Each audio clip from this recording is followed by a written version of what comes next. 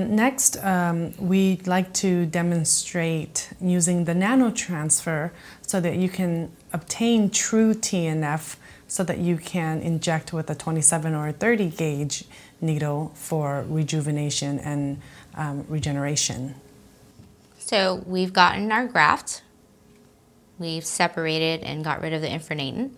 Now we want to transfer back. So you do the same process of mixing and transferring it to a push-pull. Extract your graft. Put the rest on the side. Go ahead and grab your 2.4 millimeter and you're gonna do, this is a sequential process. So make sure that you keep track of where, where your grafts are. So you're gonna do the 30 time push. So we'll pretend I did 30 times. Okay. Okay? Okay. So that's the first. So you're actually just mixing the fat at this point. Then you're gonna grab the 1.4 to create microfat. And do it 30 times again. Okay. Um, we stress the sequential process because you can't move on to the next step without doing the first step first. Okay. So you want to start with the 2.4 and then move on to the 1.4 and do it 30 times.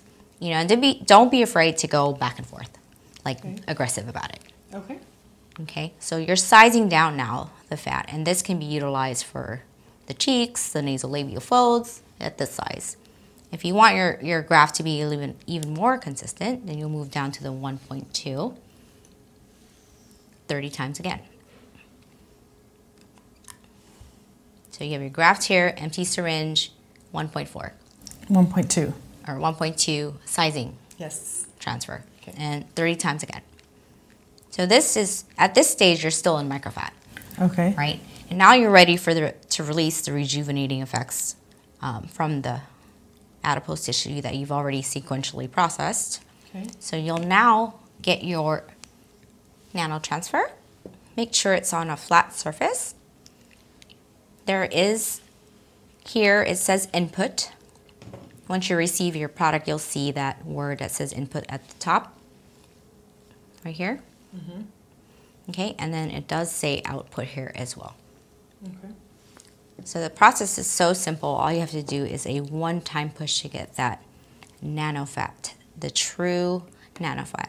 So you go ahead and take your 1 cc BD syringe that comes in a kit and make sure that the syringe is already all the way to the top. And what you want to do is prime a little bit so you get a little bit into the chamber. So